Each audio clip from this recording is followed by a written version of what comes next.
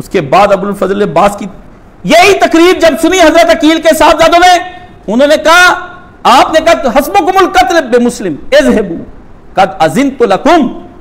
और थोड़ा प्यो थोड़ी था मर गया मुस्लिम भी नकील कुफे वो कासर भेजा था, मुस्लिम की भी दास्तान एक अजीबो गरीब दास्तान है।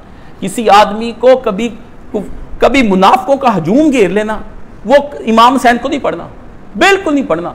वो तो दास्तान लग गया वो कभी मौका आया वो करबला से भी पहले एक मुकदमा है करबला करबला से पहले करबला हो गई थी।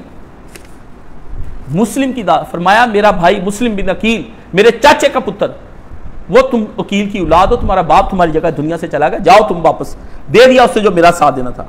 आपने ये लोग कहते हैं मुस्लिम बिन अकील के लड़कों ने जिद की है कि नहीं हमने वापस नहीं जाने देना। झूठ बोलते हैं। उन्होंने कहा ना जहाँ बा, बात सही है जो लिखी मतलब गलत लिया झूठे लोगों ने। जैसे कुरान की गलत तफसीर कर लेते हैं, बातल फिरके। इनको जब कहे ना, ये कैसे बातल हो गई? उन्होंने कहा जितना कुरान की तफसीर कर दे। बरेल दी सुनानियाँ सुनी दियाँ सुनी दी शीए दियाँ उन्हीं सारे दियाँ बातल तफसीर कहना भी हूँ दसो मुनाजरा मुझसे करना सीखे। इन्होंने मुनाजरे आपको किताबों से सिखाने, मैं तो जबान से सिखाने आपको। हूँ इन्हें किताबा लैन जानिया है। असि किताबा खोल के सामने रखा देनिया कि कट किताबा? हाँ? वो बात सही थी। उन्होंने कहा, इमाम जहां अब्बा जी मार गए जिस मिशन के लिए तेरे साथ हम भी तेरे साथ वहीं पे मरेंगे अब भी हमने वापस जाना तो इमाम ने उनको चले जाओ उन्होंने कहा हम चले गए तो दुनिया क्या पूछेगी कि अपने मौला और आका को छोड़कर हुसैन को तनहा चले आए थे मौला मौला आका चाचे का पुत्री चाचा जी को छोड़कर नहीं आए मौला आका ਗੱਲਾਂ ਹੋਰ ਹੋ ਰਹੀਆਂ ਸੀ ਮਿਸ਼ਨ ਹੋਰ ਚੱਲ ਰਹੇ ਸੀ ਅੰਦਰ ਗੱਲਾਂ ਹੋਰ ਸੀਗੀਆਂ ਉੱਥੇ ਭੈਣ ਭਾਈ नहीं ਉੱਥੇ मौला क्या जाता है रिश्ते बदल जाते हैं जब मार के लग जाते हैं फिर अतातें की जाती हैं मेरी। फरमाया, खुदा की कसम, ऐसा ना होगा। क्या माल, क्या जान, क्या औलाद और दौलत जब तक जंग है और आपके साथ हैं, रहेंगे और कुर्बान कर देंगे। उठ खड़ा हुआ मुस्लिम इब्ने औसजा उन्होंने कहा, कैसे हाथ उठा लूँ आपकी मदद से? ये जा रहे इमाम हुसैन। का गद्दार यार, रन्ना कट्ठियाँ करके उन्होंने बदमाशी कर लो, उन्होंने जना कर लो, कट्ठे होकर शराबा पी लो, कट्ठे होकर नच लो, मेहंदी तो कट्ठे कर लो। ए, यार थोड़े ए, काश मैंने उसको अपना यार ना बनाया होता। ए, काश मैंने उसको अपना यार ना बनाया होता। हर रंडिया मजमिया जेड़े जा जाके यार नाल बेदे मैं तो वैसे ही गया सी। अल्लाह ने कहा, मत जाओ उस जगह पर जिस जगह खुदा की नाफरमानी होती है। सुन ले, ये नौजवान हट जाए इसमें। अमर बेल मारूफ नहीं पूरी करबला। इमाम के यारों का पता करें, यार बंदा किनको पता पिछले, यार छोड़ दो। अगर गुनाह की दुनिया तुमने छोड़नी है, यारों को छोड़ोगे तो गुनाह की दुनिया छोड़नी। नहीं, तलक वास्ता रखना रखना। रोटी पानी का पूछना होंगे कभी कितने बंद तलक, अल्लाह कहता फिर रिजक कौन ले ली यार दे को ले ली इज़्ज़त भी को ले ली अस्तक फिर रबी में किन किन बातों का राज करबला से करूँ? ये करबला? करबला एक आफ्ताब है इसकी तबीरें बहुत। है? हाँ? उन्होंने कहा करबला एक आफ्ताब है, पर इससे निकलने वाली किरणें इतनी हज़ारों हैं जितना, जैसे सूरज की किरणें नहीं गिनी जाती, इस तरह है इसकी ताबीरें बहुत। हैं? कह रहे थे इमाम उसको, हैं? कि है तू इमाम, मगर है अब जंजीरें बहुत। इमाम ने कहा, तू, ओ जैनल आबदीन, मेरे तो बात तू इमाम आ। पर तेरे ऐसे है जंजीरें बहुत। तेन बन के ले जाना, तू इमाम होएगा। वो वादिए गाम पे फरसा है, देखो उसको, है? तपती रेत पे बाँध कर ले जाए जिसको। इमाम अजी ए इमाम इमाम रेता ते बन के लेके जाइए उम्मत दे इमाम होने ते लोग अपने पीरा पैर नहीं थले रखने तुम अपना इमाम रेता के रुलाता। वो वादिए गाम में तुफ्ता जो फरसा है देखिए उसको इमाम कहते हैं उसको मैंने मौलाना को सुनाया मैंने कहा मौलाना पढ़े गालिब ने क्या लिखा है मौलाना पढ़ पढ़ रहे मौलाना कहे वेख इमाम ना काशफ की हो रही है ए इमाम है मुसलमाना का ਕਾਫਰ ਆਪਣੇ ਇਮਾਮਾਂ ਵਾਸਤੇ ਪਾਲਕੀਆਂ ਬਣਾਉਣ ਤੇ ਉਹਨਾਂ ਤੇ ਪੈਸਾ ਨਿਛਾਵਰ ਕਰਨ ਮੁਸਲਮਾਨ ਆਪਣੇ ਇਮਾਮਾਂ ਨੂੰ ਰੇਤਾ ਤੇ ਬੰਨ ਕੇ ਲੈ ਕੇ ਜਾਣ ਇਹ ਹੁੰਦਾ ਹੈ ਸਲੂਕ ਹੈ फुल ने नाल की किया नबी ने लाडले ना की किया ये यार बना दिया नबी का मौला के साथ ये करना था और वो फूल जो किसको कहा उसके साथ ये करना कि मसल दो उसको फरमाया मैं आपको इस सूरत में खुदा के खुदा के यहाँ जाऊँगा, मुस्लिम कहता है, मैं खुदा के यहाँ जाऊँगा तो मैं क्या उधर पेश करूँगा? खुदा की कसम, अपने नेजे से आपके दुश्मन का दुश्मनों का सीना छेद डालूँगा, तलवार से उनसे जंग करूँगा। और कोई असला ना रहा तो पत्थरों से हमलावर हो जाऊँगा। वल्लाह, जान दे दूँगा, जाऊँगा नहीं। और फिर अभी आपका एक साथ इब्ने अब्दुल्ला साथी उठा, उसने कहा, खुदा की कसम, आपकी मदद तरक नहीं करूँगा, जब तक के खुदा के हजूर साबित ना कर दूँ। कि मैंने तेरे नबी के कलमे की लाज रखी थी। अब तो मुझे मालूम है कि एक बार मारा जाऊँगा, लेकिन सत्तर बार भी मारकर राख बना दिया जाऊँ, फिर भी तेरा साथ नहीं छोड़ूँगा। और हर बार ज़िंदा होने के बाद तेरी मैं मदद करूँगा। हालाँकि मैं जानता हूँ कि मौत एक बार ज़रूर है, मगर यह भी बात पक्की है कि नेमते भी खुदा के यहाँ लाजवाल हैं। आखिर पे तान तोड़ी उसने आके। उसका ये मरना क्या है? इस मरने के बाद नेमते दोबारा नहीं जानी? जहर इबन कैन उठ खड़ा हुआ, फरजंद रसूल। आप चाहते हैं कि आपकी हमायत में मैं हज़ार बार मारा जाऊँ? बिल्कुल मारा जाऊँगा। फिर ज़िंदा करूँ, मारा जाऊँ, फिर ज़िंदा करूँ, फिर मारा जाऊँ। और मेरे आरज़ू जहाँ तक पूरी हो जाए कि मैं हर बनी हाशिम के एक एक जवान के बदले मारा जाऊँ और वो बच जाए किसी तरीके से। ये कौन बोल रहा है? ये नबी की हदीस बोलती है कि राह खुदा में मैं मारा जाऊँ, फिर ज़िंदा हो जाऊँ, फिर मारा जाऊँ, फिर ज़िंदा हो जाऊँ। ये उधर से लिया है हुसैन के साहबियों ने। नबी पाक ने कहा था जहाद पर मैं इस तरह। इसने मैं फिर आपका एक मोहम्मद बिन बशीर हजर में उठा। उसका, उसकी आपको खबर मिली कि उसका लड़का इन्होंने जजीदियों ने कैद कर लिया। इमाम ने फरमाया, मेरी तरफ़ से तू आज़ाद है, जाके अपना लड़का जो है ना, वो आज़ाद करा ले। उन्हें कि मैं हुसैन का साथ छोड़ा है मेरा लड़का छोड़ दो। और ये देखो, अपना लड़का दे रहे किसी की मजबूरी का फ़ायदा नहीं उठाया। ये ये लीडर है, एकदम इमाम हुसैन। और टके टके टोकरी पे लीडर आपके दिखते हैं। क्या जमात इस्लामी, क्या गुलामी, क्या पीटीआई, क्या नवाज़ बिकते नहीं? आप एक मिनट में कह देते हैं कि फलाना जो इमाम हुसैन और करबला बहुत ज़्यादा जब इमाम हुसैन की बारी आएगी तो सिर्फ़ टाइटल सिर्फ़ करबलाइयों का और इमाम हुसैन का। बस, इस टाइटल को कोई छीन नहीं सकता। हर टाइटल के हर आदमी के पीछे कोई दुनिया की मनफियत है। इमाम हुसैन के पीछे कोई नहीं। फरमाया, जा अपना लड़का जाके जात करा ले। बशीर, मोहम्मद बिन बशीर ने कहा, आपको जंगल में तनहा छोड़ दो? दरिंदे खा जाए। ऐसे छोड़ जाऊँ कि आप तनहा रह जाए, हैं? मैं तो नहीं जान छोड़ता। आपको गजा बनने के लिए छोड़ दूँ कि आपको यहाँ के दरिंदे खा जाए। मैं, मुझे पता है, मैं आपको साथ नहीं छोड़ आपने उसका कीमती लिबास अपना उतारा, फरमाया, ये ले जा। और इसके बदले में अपने लड़के को जाके वहाँ से उठा। और फिर आपने फिर अगले दिन फरमाया उसी वक्त आपने फरमाया कि ये जो तुमने एहसास ज़िम्मेदारी का इस वक्त मेरे साथ वफादारी की है ना, इसके बारे में मैं सिर्फ़ एक ही कह सकता हूँ जजाकुमुल्ला खैरा। अल्लाह तुम सबको अच्छी खैर वाली जजात आप फरमाए। और फिर दो टोक लफ्जों में कहा, मैं कल मारा जाऊँगा और तुम सब भी कल मारे जाओगे। एक भी ना बचेगा, ना मेरा कासम, ना मेरे भाई का लड़का कासम, ना मेरा छोटा बच्चा अब्दुल्ला और फिर इमाम चले गए वहाँ पर। फिर आपने आखिरी जो रात को तलावत की ना, आयते सुनते जाए, तकरीरें सुने छोरे करबला में यह हुआ है करबला में जो मैं बता रहा हूँ ये कत्ल करना, फिर मार देना, फिर उस पर और ये तो जाकरों ने कुछ और बता दिया शियों ने। बर्बाद कर दिया मिशन हुसैनी। करबला में जो हुआ है, वो ये हुआ है जो मैं आपको सुना रहा हूँ। इसको लो। कौन कब मारा गया, ये तो सुन सुन के तुम्हारे कान पक गए होंगे। रो नहीं।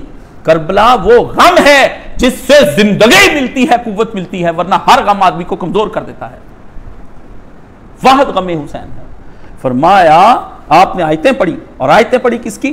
सूर्य आल इमरान की एक सौ अठहत्तर और एक नंबर फरमाया।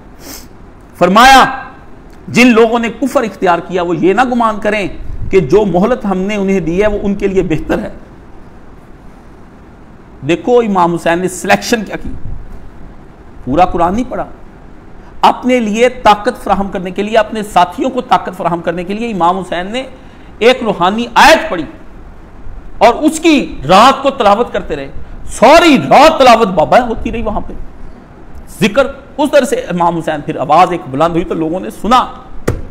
सुना उस वक्त आपने।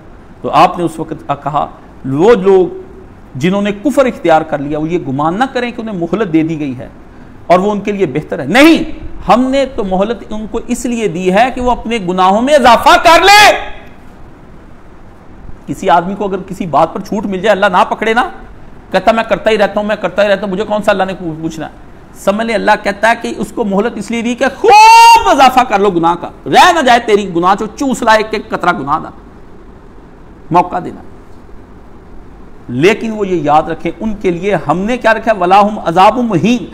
एक इंतहाई रुसवा करने वाला अजाब रखा है। अजाब नहीं, नंगे कर दिए जाएँगे मजमे के अंदर।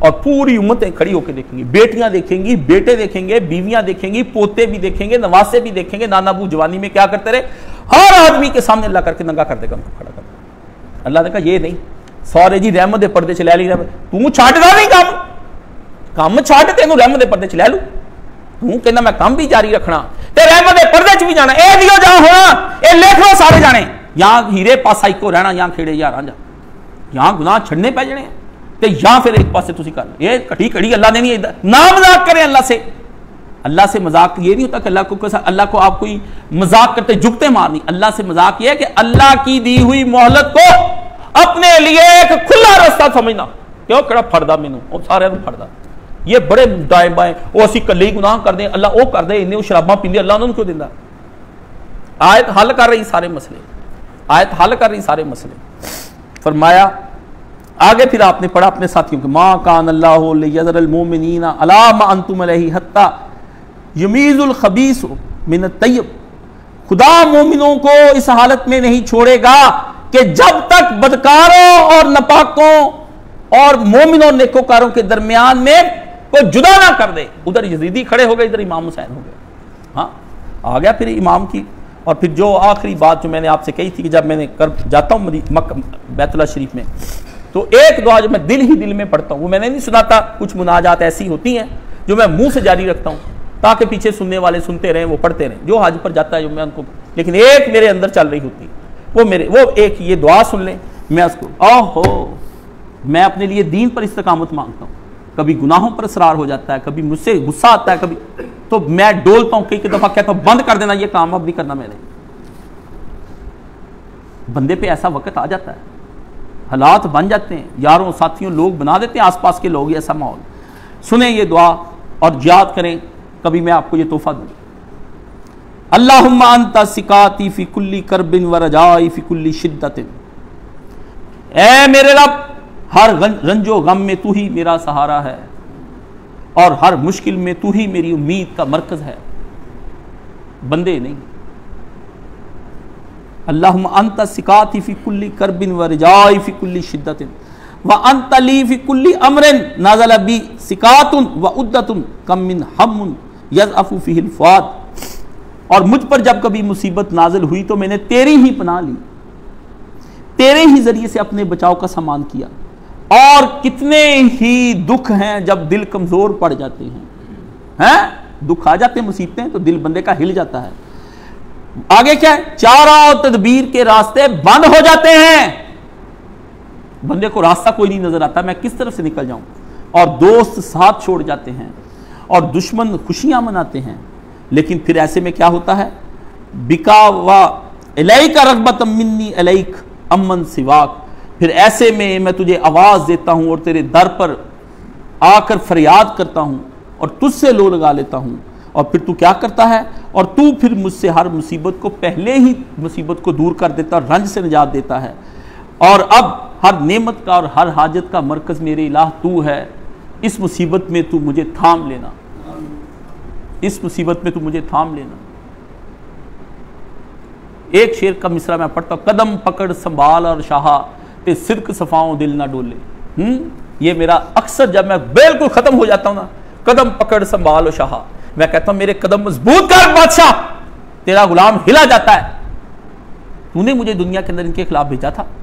अब इस गुलाम उबैदों का बेफिनायक, मस्कीनों का बेफिनायक, फकीरों का बेफिनायक हाँ सायलों का बेफिनायक, तेरी चौखट पर एक फकीर, तेरी चौखट पर एक सायल, तेरी चौखट पर एक मस्कीन, तेरी चौखट पर एक सायल आकर खड़ा हो गया है, रहम फरमाओ। जब बैतुल्ला शरीफ का मैं दरवाज़ा पकड़ता हूँ तो ये इमाम जैद आबिदीन की ये दुआ है अल्लाह की चौखट को पकड़े, बंदे की चौखट को ना पकड़े। हाथ लगा के बैतुल्ला शरीफ के दो चौखट पे खड़ा हो जाए फकीरों का बेफिनायक, तेरी चौखट पर आ खड़ा। फिनायक, एक है फना, एक है फिना। हाँ? फकीरों का बेफिनायक, मस्कीनों का बेफिनायक, साइलों का बेफिनायक, उबैदों का बेफिनायक, तेरा गुलाम तेरी चौखट पर। चार कलमे तीन बार पढ़कर जो आदमी दुआ करता है, उसकी दुआ कबूल हो जाती उसी वक्त। इमाम हुसैन की ये दुआ। बंदे पे जब मुसीबतें बने तो ये अंत सिकाती फ़ी कुल्ली कर बेन ओ, मेरे रंजों में मेरे सहारे व रिजाई कुल्ली शिद्दत ओ, मेरी उम्मीद के मरकज, जब दिल डोल जाए और मैं कमज़ोर पड़ता हूँ तो मैं तेरा सहारा पकड़ता हूँ और इमाम हुसैन ने ये फिर वहाँ पर ये सारी पढ़ी, और अशूर की रात आपने ये सारी दुआएँ और वहाँ पर जब आपके सामने पढ़ी। बस भाइयों, फिर आ गया वक्त इमाम हुसैन का। हम्म? मक्तल की सरजमी पे जो पहुँचे शहीदी, खैमे वहीं गड़े कि ये मंजिल थी आखिरी। आ गया इमाम हुसैन का वो वक़्त कि जब शाहिदीन वहाँ पर हो जाएँ तो आप वहाँ पर आ गए। तो इमाम हुसैन वहाँ पर उस वक़्त आ गए। और आकर इमाम हुसैन ने वहाँ पर, कौन कहता है कि शब्बीर को ना मिला पानी? दर हकीकत लबे शब्बीर को तरसा पानी। मुँह छुपाए फिरता था ज़मीन के अंदर। करबलाओं, करबला वालों के सामने शर्मिंदा था। कितना पानी? हा? बंद कर दी इमाम हुसैन के ऊपर पानी। तो क्या हुआ? और पीर फजल चिश्ती हराम खोर रसूल के मिंबर पर बैठ कर तो यह कहता है कि इमाम हुसैन के खेमे में पानी था था, ये बता के उसने लबे दरिया के ऊपर अपनी फौज खड़ी की थी या नहीं की थी? इमाम ने तो अपने पानी का इंतज़ाम पहले कर रखा था। इमाम को पता था, ये इसका बाप भी पहले पानी बंद करता रहा मुआविया आके तो यजीद ने भी यही हुक्म देना है। तू बता, मसला इमाम के खेमों में पानी का नहीं। मसला इमाम के ऊपर पानी बंद करने का कैसा लोगों को गुमराह करते हैं? आप बोले बाले लोग हक पीर हैदर हक पीर हैदर अवारा बदमाश गुंडे इकट्ठे करके बल्ले बल्ले इस तरह होता है मजमा। किताब कहता मैं लिख रहा हूँ। मैंने कहा तू भी लिखते फिर मैं भी लिख रहा हूँ। समझ गए?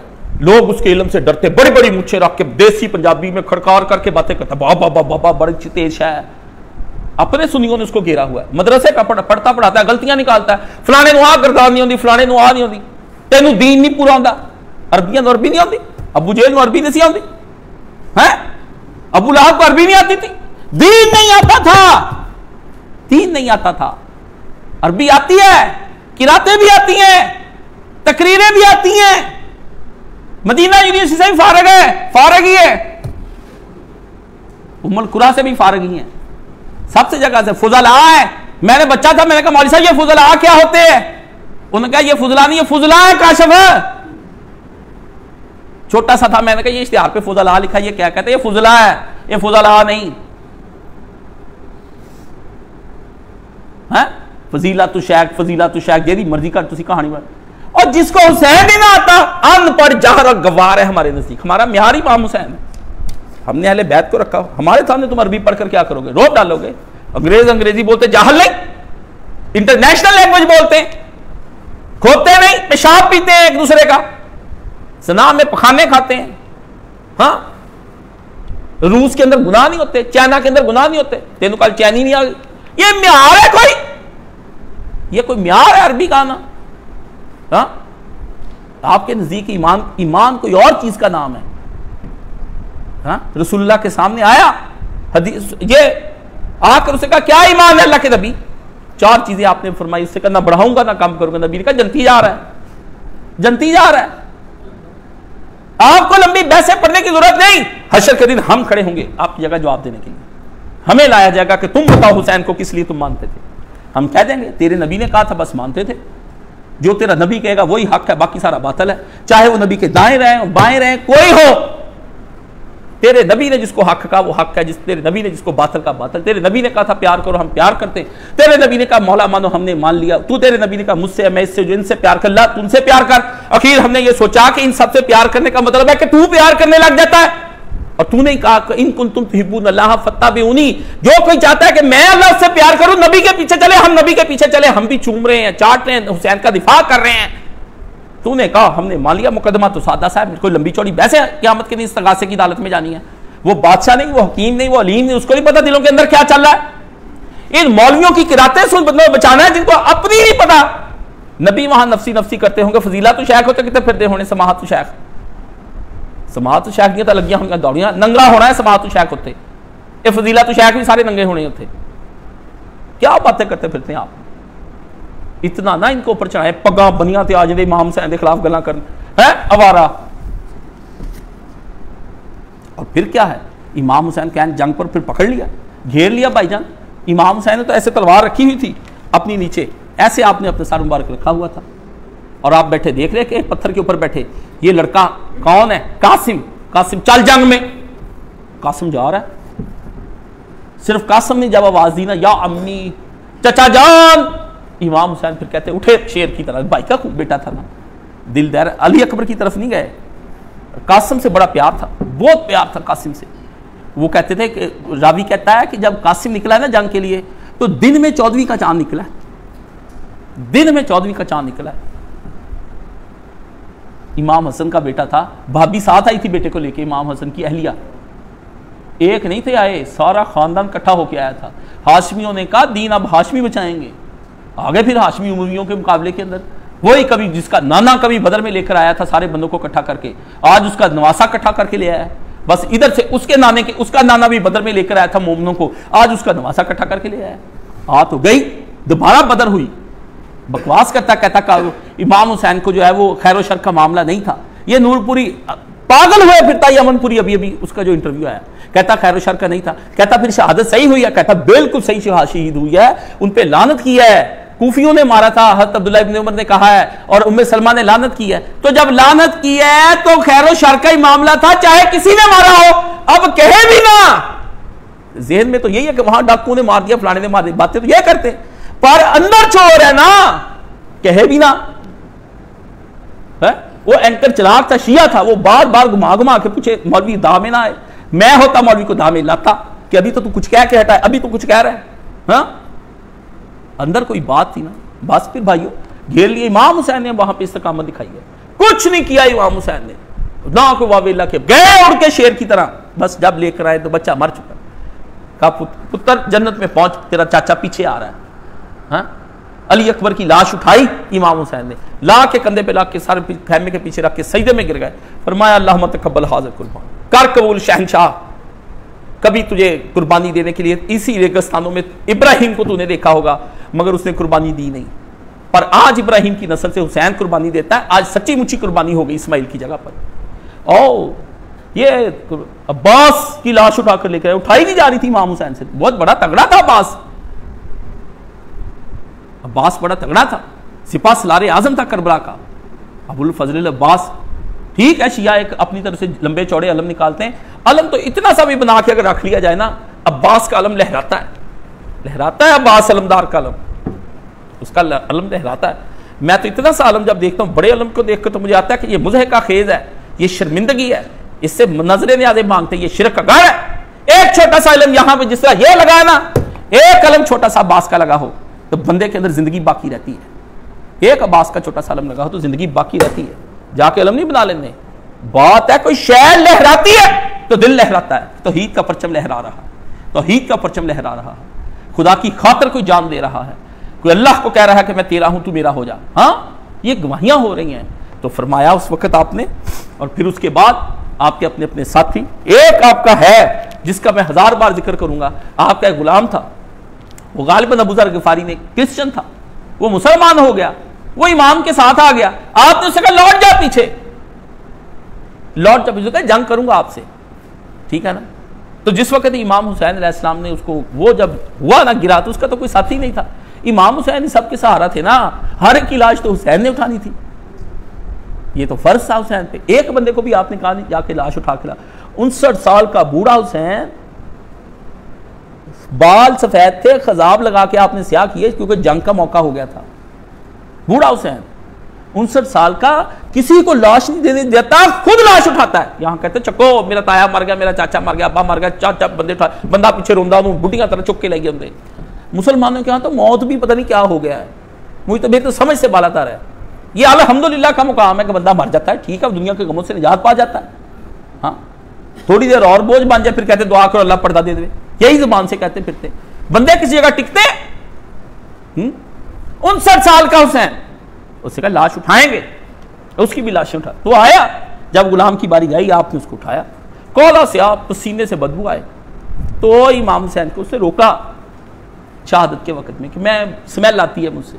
कहा, इमाम, बदबूदार गुलाम हूँ और हबशी हूँ। बदबूदार गुलाम हूँ और हबशी हूँ। पसीना बू वाला है, आप मर रहा है। इमाम हुसैन से गोद में ले लिया अब उसके खून अपनी गाल पे मल लिया। वो रो पड़ा। उससे कहो अब मेरा खून जो है पाक भी हो गया है खुशबूदार भी हो गया है और नूर से भी भर गया है।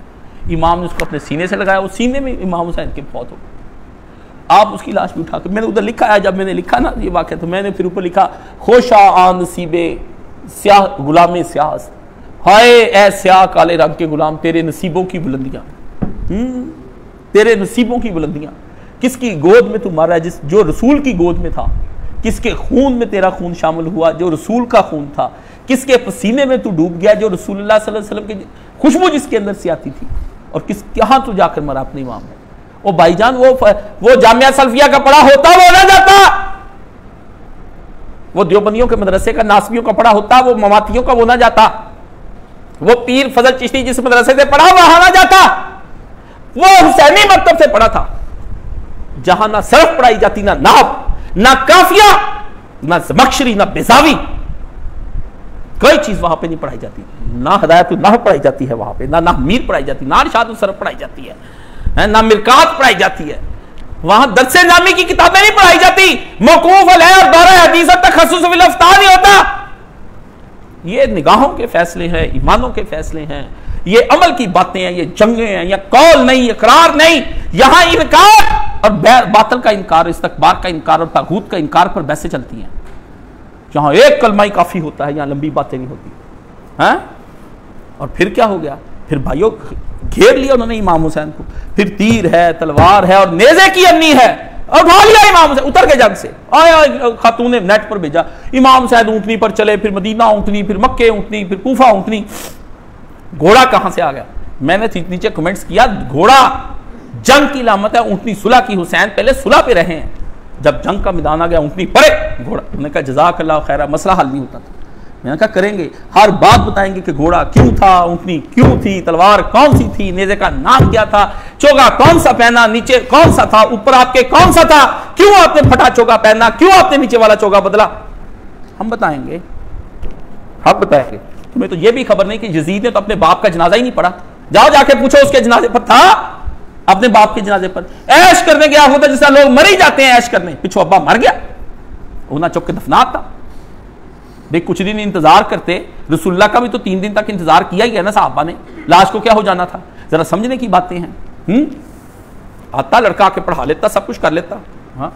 ये देखो, तान सुनना है तशनीर सुननी है तंज सुनना है, मैं हाजिर हूँ। सिया मजलस क्या पढ़ता है? जो मैं पढ़कर सुना दूँगा। वल्ला ही ना हम तशनी करते हैं, ना तान करते हैं, ना तंज करते हैं। हमें ना मजबूर करो, हम तो अपने इमाम के मानने वाले हैं। हम तो उसके गम में हैं। आ गए फिर आप। आपको घोड़े से उतर गए। घेर के मारा इमाम हुसैन को, बस ये गम है। अकेला अकेला आता तो शाम भी पड़ जाती, दिन भी आ जाते। अली के पुत्र को हरा कौन सकता था, जिसने खैबर फतेह किया था? घेर कर मारा। ये गम है मेरे दिल के अंदर। कि इकट्ठे होकर मारा। शेर को घेर लिया भाई, गिदड़ों ने। वो गिदड़ हज़ार बारह, पंद्रह सौ थे, शेर था अकेला। शेर फिर क्या करता? शेर ने जंग लड़ी। शेर ने फिर जंग लड़ी। और आखिरी दम तक लड़ी। शिमर ने कहा, देखते क्या उतारो? उतरे आप। फिर आपने तलवार आखिर में फेंक दी। हाँ? तलवार आपने, फिर आपने फरमाया, अगर, इनकाना अगर, ये दीन मोहम्मद इसलिए बचता है कि तलवारें मेरे जिसम में घुस जाए तो ये फिर अजम की बातें हो रही हैं। फिर अजम की बातें हो रही हैं। आओ तो फिर ये हुसैन इतने अली खड़ा है। हाँ वो सानिया मॉडल टाउन वाला, फिर कहता, आओ मैं हुसैनी हूँ। गोली चली तो भाग गया। इस तरह नहीं, लीडर इस तरह नहीं होते। मैं पहचान कराता हूँ, करबला के तनाजुर में बंदा बंदा छान लेता हूँ। बेवकूफ़ नहीं। बेवकूफ़ नहीं। हमने दुनिया की सियासत पढ़ी है। जज्बाती सियासत के लोग नहीं है। अपने लीडर को पहचानो। एक ही लीडर तुम्हारा है। उस पर सबको ले आओ। अगर वो है तो फिर फारक करो उसको। काफला हिजाज में एक हुसैन दी आओ, फरमाया, इसमें घुस जाओ। और फिर तीर है। तलवार है, नेजे की अन्नी है, फिर सीना है और शाख पे नावक सी तनी है। आशक का सीना था, तीर था, नेजा था, तलवार थी। है? इमाम हुसैन को गिराया फैज ने यह शेर पढ़ा था कि उसकी समझ में आया, शायद इमाम हुसैन घोड़े पे शहीद किए गए, वहाँ आपकी आपकी गर्दन मुबारक जो है उतारी गई। तो उसने फिर इमाम हुसैन को कहा, उसने कहा, मरकब पे तने पाक और खाक पे सर था। घोड़े पे बैठे थे और सर ज़मीन पे आ गया। वो रसुल्ला की बोसा गा है? मरकब पे तने पाक और खाक पे सर था और उस खाक तले जन्नत फिरदौस का डर था। उस खाक तले जन्नत फिरदौस का डर था। समझ गए? ये है कि इमाम हुसैन ने उस वक्त जाने दी। और भाई, फिर उन्होंने खयाम को लगाई आग, है? और फिर क्या कहते हैं? ये कहते हैं, हुसैन तो जनाब, अपने लिए को क्या नहीं करते हैं? और फरमाया, है है, ये वक्त और ये आंधी, ये इंतशार क्या जालमों ने वो मिट्टी उड़ाई अपने घोड़ों के ज़रिए से इमाम हुसैन के आसपास? है है ये वक्त और ये आंधी, ये इंतशार जंगल का भी ना खौफ किया मेरे गुल इजार। बेसर पड़े हैं, दश्त में लाशे बेहाल इजार। कटे हुए सर पड़े हैं, ये अली अकबर है, ये अली असगर है। छोटा बच्चा, इमाम हुसैन ने पानी नहीं मांगा, झूठ बोलते किसी से पानी नहीं मांगा इमाम हुसैन। बच्चे को लेकर अंदर से आए, आखिरी वक्त अब बोसा दे रहे बच्चे को। बस जालिम ने हुरमला ने फिर मारा तीर। तीर इतना वजनी था कि बच्चे के हल्क में लग गया, तीर वजनी, बच्चा हल्का, बच्चा ही पलट गया। वो यहाँ से गुजर के इमाम हुसैन के इस इधर से आस्तीन से पार हो गया। इधर से पार हो गया। पानी नहीं मांगा। वो तो चूम रहे थे आखिरी वक्त में, अपने बच्चे को देख रहे थे कि मैं अब जा रहा हूँ दुनिया से। बच्चा वो भी साथ। सॉरी जंग है ओ हुसैन से बैत नहीं। ये अली असगर से किस बात की जंग है? ये अली असगर से किस बात की जंग है? रसूल ने तुम्हें जिहाद के तरीके नहीं बताए? हैं? और शिमर और इब्ने जियाद और जजीद तुमने अपनी, अपने इनको बताया नहीं कि जिहाद के अंदर क्या करते कमजोरों बूढ़ों पर रहम अल्लाह के नबी ने कहा है। और कभी यजीद के घर को महफूज, इसके दादे के घर को महफूज करने के लिए अबू सुफियान को रसुल्ला ने कहा था, जो अबू सुफियान के घर में दाखिल हो जाए, उसको मान। आ गया था कि यारसुल्ला मुझे भी कोई इज़्ज़त दे, मैं गाँव का चौधरी हूँ। नबी ने फरमाया, जो, तेरे घर में। उनको अमान दिया, नबी के घर वाले आज बेमान हो गए। ये किसी गंदी नस्ल की अलामत होती, कोई अच्छी नस्ल की अलामत नहीं होती। जब बंदा किसी के, अब किसी पे तो ले ले किसी से फ़ायदे, और जब देने का वक्त आए तो बंदा उसको कांटे ले और फूल ले ले। हाँ? ये असूल होता है। और बेसर पड़े हैं, दश्त में लाशे बेहाल जार क्यों कर शनाख्त कर लिया बाबा को मैं नसार हाँ। पूछा हज़रत सुकैना से कि तूने अपने बाप को कैसे तलाश कर लिया, इतनी लाशें पड़ी थी? हर उज पाए माल बदन पाश पाश है। हाँ हो ना हो, ये कासम मुस्तरब की लाश है। हुँ? कैसे तूने कहना अपने बाप को तलाश कर। उसने कहा, यही मेरे बाबा हैं, फिदा। मैं दश्त में पुकारती थी, फिर जा बजा। बाबा किधर है कोई बताओ पे खुदा, इस लाश ने पुकारा, बेटी इधर को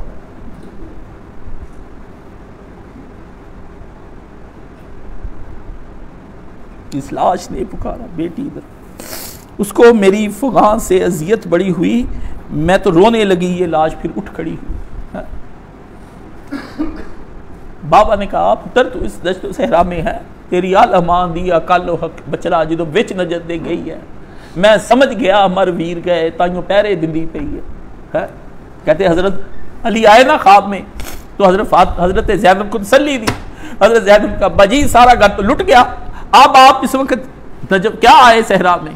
तो फरमाया जब तुम रो रही थी और तुमने मुझे याद किया तेरी आल अमान दिया अकालो हकला सदा जो बिच नजफ दे गई है। उनका बेटी जब तू रात को पहरा दे रही थी ना अपने खानदान की जली लकड़ी लेके सारी बहनें भाभियाँ बैठा ली हज़रत जैनब ने और आगे खड़ी होगी उसने कहा, इनको हाथ इज़्ज़त को किसी ने लगाना। खैमे लिए तुमने जला, माल लिया तुमने लूट। हमारी औरतों को अगर तुमने हाथ लगाया तो ये जलती हुई लकड़ी है। खैमे की आग लेके वो आगे खड़ी रही सारी रात, है? औरतें बैठा ली। आप देखें नबी की बेटियाँ मुजरम और कैदी बना ली गई। उम्मत को लानत है कि ऐसे हरामजादों की आप हमायत करते हैं।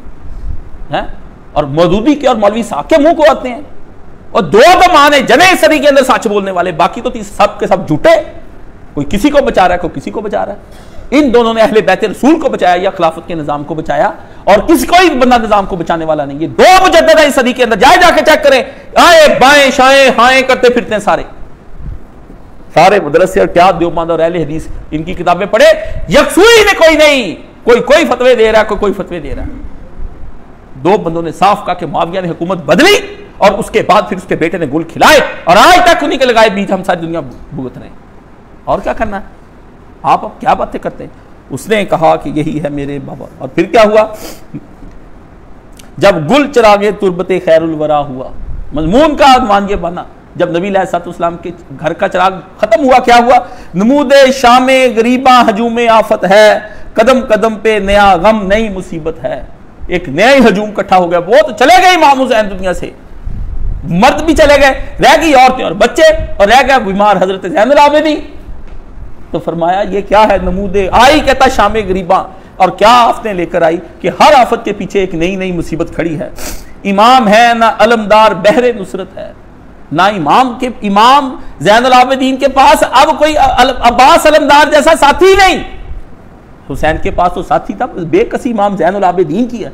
मैंने मौलाना साहब से कहा कि इमाम जैन आबिदीन के बारे में यह आता है कि फिर वो ज़िंदगी भर मुस्कुराए नहीं। मौलाना साहब ने रोकर कहा, काशिफ अली, जो इमाम पे गुजर गई थी, मुस्कुराना बनता भी नहीं था। मुस्कुराए नहीं कहते इमाम जैन आबिदीन। पूरी ज़िंदगी नहीं मुस्कुराए। बस जो बाप पर गुजर गई और फिर उन्होंने किसी तहरीक का हिस्सा भी नहीं बने। बहुत उस वक्त अहले मदीना ने भी कहा, वो चुप रहे। कहते जी, उस वक्त क्यों उनको पता था। अब उठने का क्या फ़ायदा हुआ? जब मेरा बाप ही मारा गया और कोई थोड़े से बंदे इकट्ठे होकर इनके खिलाफ हो गए ये भी मारे जाएँगे, क्योंकि लाखों की तो फौजें हैं। निकलना था तो उस वक्त सारे निकलते जब मेरे बाप ने कहा था। कहते हैं कि हिबतुद्दीन शहरस्तानी ने यह लिखा है कि छप्पन हिजरी में पाँच साल मरने से पहले हज़रत मुआविया आए हैं और मस्जिद नबी में खड़े होकर कहा, ये अब्दुल्ला बिन जुबैर, अब्दुल्ला बिन उमर, अब्दुल्ला बिन अब्बास और हुसैन इन्होंने बैत कर ली है, तुम भी सारे यजीद की बैत कर लो। बंदा ही कोई नहीं बोला, इमाम हुसैन नीचे बैठे, आपने उस दिन सार उठा के देखा, कोई तो बोले, उसी दिन इमाम हुसैन ने समझ लिया, कौम का जमीर मुर्दा हो चुका है, और ये बंदे नहीं उठने की अकेला मिन चुकना पैना लभोर के सें चुकना। ये आया पढ़ लें हदीस की किताबों के अंदर। दाना आदमी तो पंद्रह पंद्रह, बीस बीस साल पहले बता देता है कि ये होना कि ये नहीं होना। लोग मुझसे बीसियों बातें करते हैं। मैंने जो खुतबे दिए 2014 में, आज पाकिस्तान की सियासत उसके ऊपर खड़ी है कि नहीं खड़ी? मुझे माने या ना माने?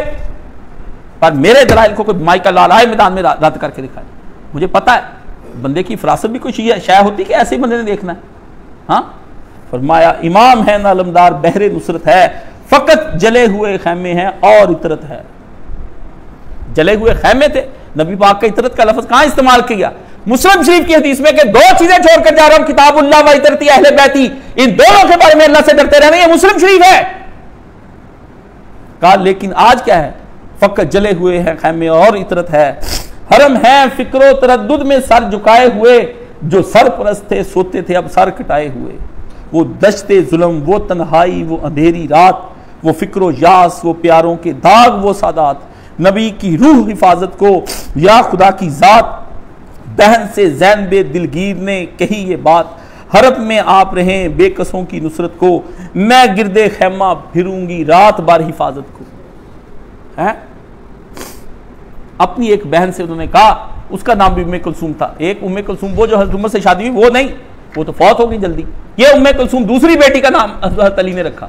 उसको कहा, उम्मे कुलसूम यहाँ पर आराम से बैठ जा और फिर देख, शामी जो शमे दीन इलाही बुझा चुके, नारी ख्याम आले पे अंबर जला चुके मलऊ सिना पे सरे शौदा के चढ़ा चुके, बेदीन नबी के कुनबे को कैदी बना चुके, था बुग्ज ऐसा आले रसालत पनाह से, बेवारसों को ले चले मकतल की राह से। है?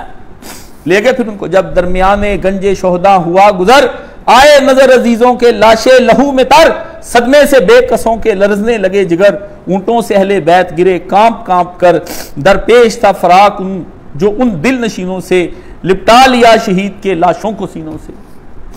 लिपटी थी अपने बेटे के लाशे से कोई माँ, कोई बहन थी भाई के लाशे पे नीम जा, दरिया की समझ थी कोई जारो हजी रवा कोई पुकारती थे मेरा बाप है कहाँ। एक सोगवार खाक उड़ाती थी दश्त में, कुछ ढूंढती हुई चली जाती थी दश्त में। हुँ? खोदी हुई ज़मीन जो उस एक जाप मिली, बेताब होके फरते मोहब्बत से गिर पड़ी। बेसर जो देखी लाश वहाँ शीर खार की। इकबार हाय मुँह से कहा, और गश हुई। शियो खबर है कौन ये आली जनाब थी? असगर की सोगवार थी उम्मे रुबाब थी। असगर की सोगवार थी, है?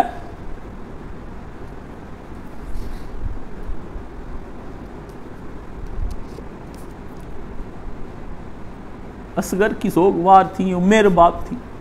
इमाम हुसैन ने शेर पढ़े कि, रबाब, मुझे तुझसे बड़ी मोहब्बत है और सुकैना से मुझे बड़ी मोहब्बत है। ये शेर आपने अपनी बीवी और अपनी बेटी के लिए पढ़े। जहाँ तवाइफों के लिए लोग शेर पढ़ते हैं, इमाम हुसैन ने शेर पढ़े उस वक्त।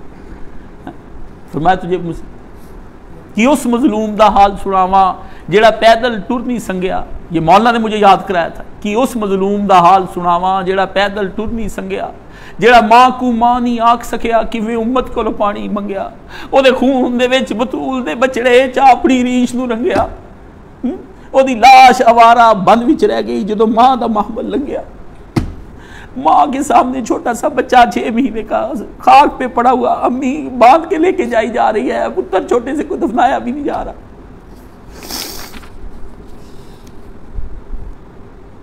चलने लगा जो शाम की जानिब वो कारवां। कब्रे पिसर से उठी ये मजबूर और नातवा। बेसर जो देखी धूप में, लाशे शहे जमा। शोहर का खत जब देखा, है?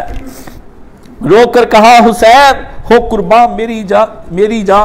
साया नहीं हजूर पे रहूँ, साया नहीं हजूर पे रहूँगी उम्र भर। अब मैं भी जेरे साया ना बैठूँगी उम्र भर। साय के नीचे नहीं बैठी जाके फिर वो अपने बहुत रोई। हज़रत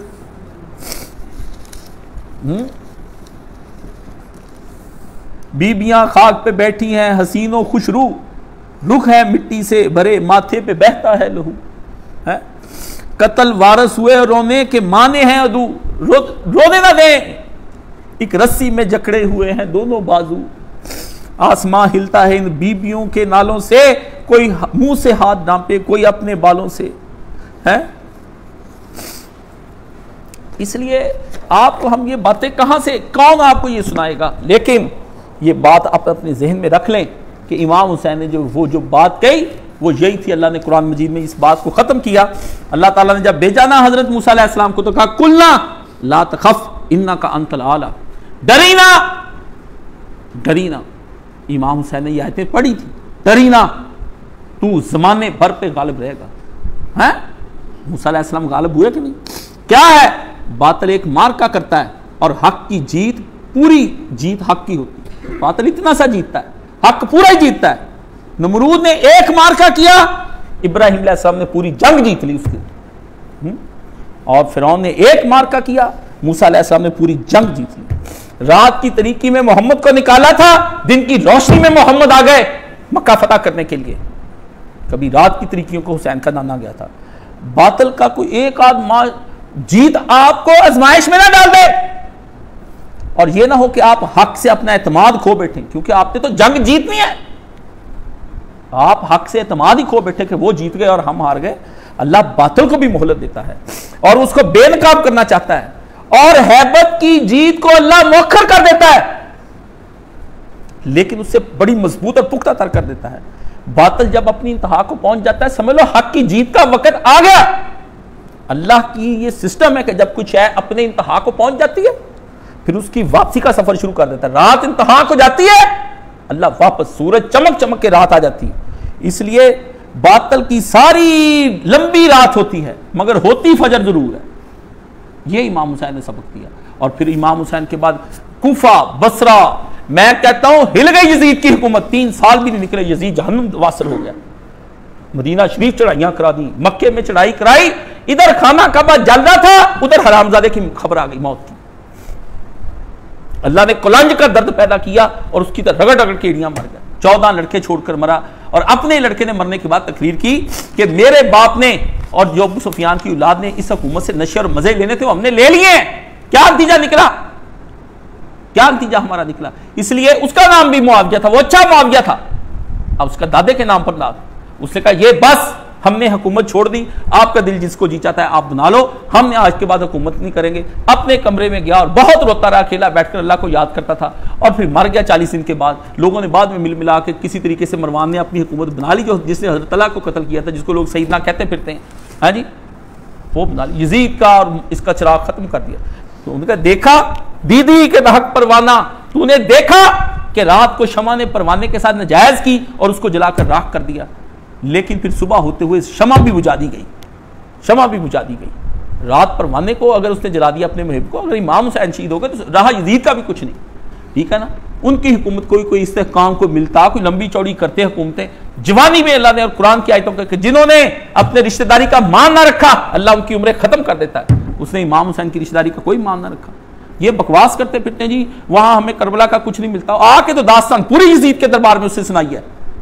उन्होंने कहा, क्या हुआ? उन्होंने कहा, अमीर मोमिनीन। जिस वक्त अहले बैत पर हमने हमला किया उनके ख्याम पर, और हुसैन इब्न अली का सर काट लिया, अहले बैत इस तरह फिरते थे जैसे परिंदे उड़ते फिरते बच्चे रो रहे थे, औरतें चीख भी चिल्ला रही थी, और हमने ख्याम को आग लगा दी, और वो औरतें इकट्ठी होकर एक दूसरे के पीछे छुपती फिरती थी, और बच्चे एक दूसरे माओ के सहारे ढूंढते फिरते थे, और हम उनको बाँध कर तेरे दरबार में, कैदी बनाकर ले आए। वो सामने खड़े सारे कैदी ये हाजिर है वो सारे कैदी जिनको तू कहता है। आप कहते हैं किसी को खबर ही नहीं हुई। ये कोई अंदर होया? और अल्लाह के बंदो, इमाम जैन आबिदीन ज़िंदा, इमाम बाकर पाँच साल के वो मौजूद, खुद हज़रत जैनब वहाँ पर मौजूद, उम्मे कलसूम वहाँ पर मौजूद, उम्मे रबाब वहाँ पर मौजूद, अली असगर की माँ, और आगे बताया ही नहीं किसी ने कहा वहाँ पर क्या हुआ। और आप कहते हैं झूठे रावियों की तारीख तुम्हें पढ़ वो अभी उसमें कह रहा है अमनपुरी तरीक की तरफ़ ना जाओ तरीक उन्होंने कहा, नबी पाक की तरीक कितों लेनी थी, उमर की कितों लेनी थी, उस्मान की कितों लेनी इन्हों का दौरे हुकूमत साबित करने वास्ते इसे तकरीर मुँह मार दो तहरीर तारीख हाँ? यही तारीख है। फिर लिखते क्यों हो कि नबी की सीरत, फलाने की सीरत, फलाने की सीरत? फिर वही वाकई अच्छा हो जाता है। हाँ? उससे तो पूरी दास्तान खींची। बस फिर आखिरी बात उसने कही, कहते जब काफिला मदीना शरीफ आया, बात इस पर खत्म करें। और भी शेर पढ़ती थी बच्ची बच्ची अहले बैत। कहते जब ये मदीने ने सुना, बहुत कोहराम मचा मदीने के अंदर। माजा तकूलूना इन काल नबी लाकुम माजा तफ़ालूना जब नबी करीम सल तुम उस वक्त क्या कहोगे जब नबी इस्लाम के बाद के पास तुम पहुँचोगे? और नबी सलाम कहेंगे, बे इतराती व अहल बैती, मेरी इतरत और अहल बैत के साथ तुमने क्या किया? माजा फ़ाल तुम तुमने क्या किया था जब तुम नबी इस्लाम के पास हशर के दिन पहुंचोगे? हजूर इकट्ठे कर लेंगे ना सारे मुसलमानों को। एक तरफ़ ले जाकर कहेंगे, वो किताबुल्ला का तो तुमने जो हशर करना था, वो कुरान मजीद ने कह दिया कि रसूल की आमद के दिन कहेगा, या अल्लाह, इस कौम ने हमें छोड़ दिया। उसके बाद नबी पाक भी एक तरफ़ खड़े हो आप फरमाएँगे, हिसाब बाद में होगा, पहले ये बताओ, मेरी औलाद के साथ क्या किया तुमने। माजा तो कूल इनकाल नबी लकुम। माजा फाल तुम अन तुम आखिर उमम, तुम आखिरी उम्मत थे, तुम्हारे जिम्मे में अपनी औलाद छोड़कर आया था, माजा फाल तुम बेतरा ती वहले बैदी बादी, मेरे बाद तुमने क्या किया? मिन हम जरजुल उसारा व मिन हम जर्जु बिदम, कुछ को तुमने कैदी बता लिया और कुछ को तुमने खाको खून में रुला दिया। हाँ? दो ही मेरे बच्चों के साथ बुरे सलूक किया उनको कैदी बना के मेरी बेटियों को ले गए और मेरे पुत्र को वहाँ पे खाक खाक पे मार के बोटियाँ उड़ा दी और कहते उसका आज आज वहाँ पर उसका रोजा नहीं है। हराम जादो अभी वो बचा नहीं। अभी वो बचा नहीं। तुमने उसकी बोटियाँ उड़ा दी तो रोज़े का ये आलम है कि चार चार करोड़, दस दस करोड़ लोग हाजिर होते हैं। अगर वो बचा हुआ होता, उसका सर समेत वहाँ पर होता, खुदा ना बना लेते उसको लोग। हाँ? अभी वो बचा नहीं। अभी बोटियाँ हैं तो हुसैन इब्ने अली की और करबला करबला होती बिरती पूरी दुनिया के अंदर। मौलवियों को और इन दानश्वर पर फलसफियों को जो हुसैन के खिलाफ दुनिया के जमीर ने थूक दिया, दुनिया के जमीर ने थूक दिया। कौन इनको जानता है? मौलवी मुलानों को निकाल निकाले कोई मौलवी। चालीस किताबें लिखी, पचास लिखी, फिर मर जाता है, उसकी किताब भी कोई नहीं खरीदता। रोते फिरते हमारी किताब कोई नहीं लेता। लाइब्रेरियों में बंद किताबें, ना असरी को कोई जानता, ना शरीफ को, ना इधर उधर के। इनको किसने जानना है? चमकता वो है आसमान के सितारे की तरह। जो लोगों को, वो तोहीद का सबक, तोहीद कलमे नहीं, बापों के मजारों वाली तोहीद, छोटी तोहीद। बातल के सामने साधना करना ये है। तुम ये कहते हो, माजा फाल तुम वान तुम राखलो मिन हम जर्जू सारा व मिन हम जर्जू बेदम। तुमने उनमें से किसी को कैदी बना लिया और तुमने किसी को उसमें से, उनको खाक और खून में छोड़ा है? और लिखना पड़ गया इब्ने तैमिया को। कह ना रासल हुसैन? हुसैन का सर कहाँ है? इब्ने तैमिया लिखता फिरता है। एक जगह जाली मजार बनाया, उस पर अल्लाह ताला ने इब्ने तैमिया के कलम को हरकत दिलाई। रात उनका कर रहा है, और रात अपना भी इब्ने तैमिया कर रहा है, और रात इन नासमियों का भी कर रहा है। कैसा देखो अल्लाह ने काम चुकाया? अल्लाह का काम देखो ना, अल्लाह ताला जब लेता है, दीन की खिदमत बड़ी बड़े तरीके से ले लेता है। एक जगह ये शियों ने इमाम हुसैन का बताया कि यहाँ इमाम हुसैन का सारा वो रोजा बनाया इन्होंने। इब्ने तैमिया ने यह साबित करने के लिए कि यह रोजा जाली है, क्योंकि इमाम हुसैन के सर का आज तक पता ही नहीं चला कि वो सर किधर गया। यही तो हम पीट रहे इतनी देर से। कैसा पकड़ा चोर को हमने? कि सर काटा, काट के सर कहाँ गया? क्यों नहीं दफनाया? है? कहते हैं वो जी, डाकुओं ने उसका सर काटा। ये हरामजादा कहता है, नूरपुरी बगैरत। ये कहता है हाँ हराम खोरा कहते इब्ने जियाद के दरबार में लाया गया। कौन लाया? इब्ने जियाद ने तहकीक नहीं की। कौन लाया? उसका कोई गमाशा लेकर आया था ना नाम लेने के लिए। ये तो बुखारी शरीफ में है। ये ये जमात दावा के किसी बड़े मौलवी का काम है। उसका भतीजा मेरे पास आता है। उसने आके कहा, मेरा ताया कहता है, इमाम हुसैन का सारी काटा उधर ही बुखारी शरीफ, मैंने उसी वक्त खोली कर से। मैं कहा वे हक का बक्का, मैं कहा, बुखारी है। पढ़ ला, तेरे दारे नहीं छपी है। हक का बक्का, मैं कहा, तेरा ताया तो तेरा फुफा खोता है। तू खोतिया को सीख रहा है? खोतिया आ साडे को। इधर आ, कौन माँ सादे की, हो जा सचिया ना ਇਹਨਾਂ ਦੀਆਂ ਦਾੜੀਆਂ ਨਾ ਦੇਖੋ ਸਿੱਖਾਂ ਦੀਆਂ समझ गए ये ना देखे लंबी लंबी दाढ़ियों वाले आ गए हमारे पास बेलम और जहल खारजी ना जाए इनके पास मत इनका कोई जुमा सुने ना इनकी कोई बात सुने झूठ का पलंदा है बाकी मेरे पास होती मैं आपको इधर कहता हूं मैं तो अब हो गया बीमार बड़ा मुश्किल से उठता हूं टीम होती ना चालीस पचास जिल्दों में मैं सारा जो उस्ताद से सीखा था एक एक शय का रद्द करा जाता लिखा जाता कि टीम यहां पर अफसोस ना कोई यहाँ पे टीम बनी, ना लड़के आए, ना कोई पढ़ने वाला, ना कोई लिखने वाला। एक केला बुकारता हूँ, किताबें तक नहीं सेट करने वाला कोई बंदा। कौन अपनी नस्लों को देगा? बहत्तर तो इमाम हुसैन के साथ बड़ी मुश्किल निकले हैं, जो इमाम सईदा हली शबाबुल जन्ना है। हम तो पता नहीं अभी दो का आइंदा है, हमारे साथ किससे निकलना है? ये कलम तक नहीं हिला सकते, इन्होंने तलवारें क्या हटानी है? यहाँ से किताब निकाल के दोबारा नहीं लगा के जाते।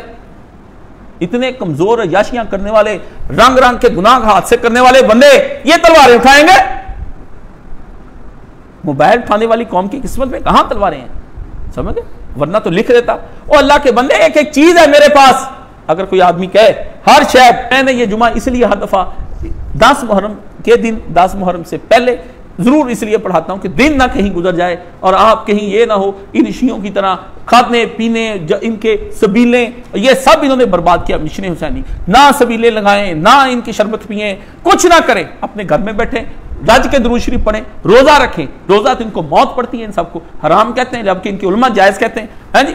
तो रोजा रखें, अपने घर में रहें। बिल्कुल इनका ताजियत ना टीवी पे देखें, ना कहीं और देखें कि ये क्या कर रहे हैं ये जंजीरें, ये जितने काम करी जाने, शैतानी काम।